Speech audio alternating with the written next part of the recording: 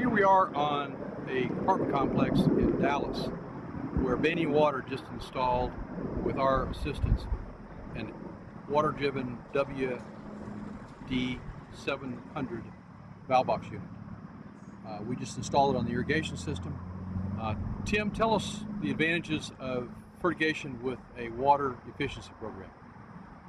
Well, one of the uh, advantages is the ability to fertilize at very low concentrations uh, with either synthetic or organic products.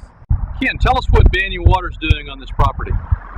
Banyan Water is currently installing a smart irrigation management system uh, on this property uh, to help manage their water costs as, as well as to work with uh, with the injector system to get the right amount of water on every individual zone out here with the proper amount of nutrients needed. Tell us what you're doing for the controls here. When we come into a site, we implement a site, we will remove the legacy uh, irrigation standard irrigation controllers. We will install our smart install our smart irrigation uh, controllers on the wall.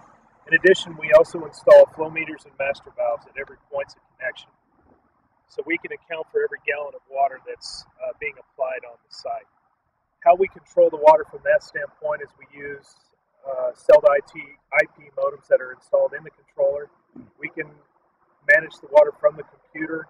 We can account for where every gallon is going. We can see that happening live as well. How many injectors are you installing in this property? On this property, we have 10 injectors that we've installed. Uh, we have uh, 12 points of connection uh, flow meters and master valves, and uh, 10 controllers on this site. How active is Banyan with fertigation on their water management systems? Pretty much every site that we've done in the last three months, we've put uh, injector systems uh, on those properties. We are a strategic partner with the injector systems, and so that is a part of our selling aspect.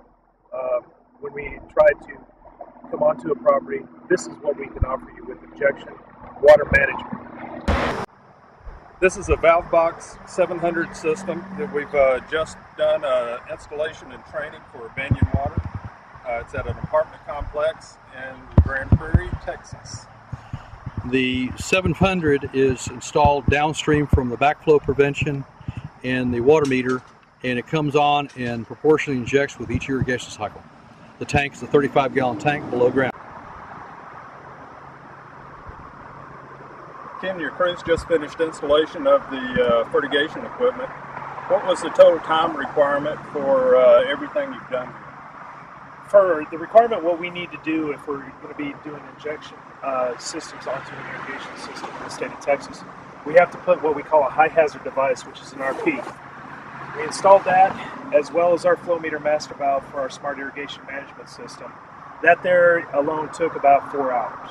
Uh, then for the injection system, probably took another two hours for total for the total installation. So two guys, six hours, you can have everything put together. And that includes your your manifold for your tie-in of your injection point, your tank, and your injection pump. That is correct.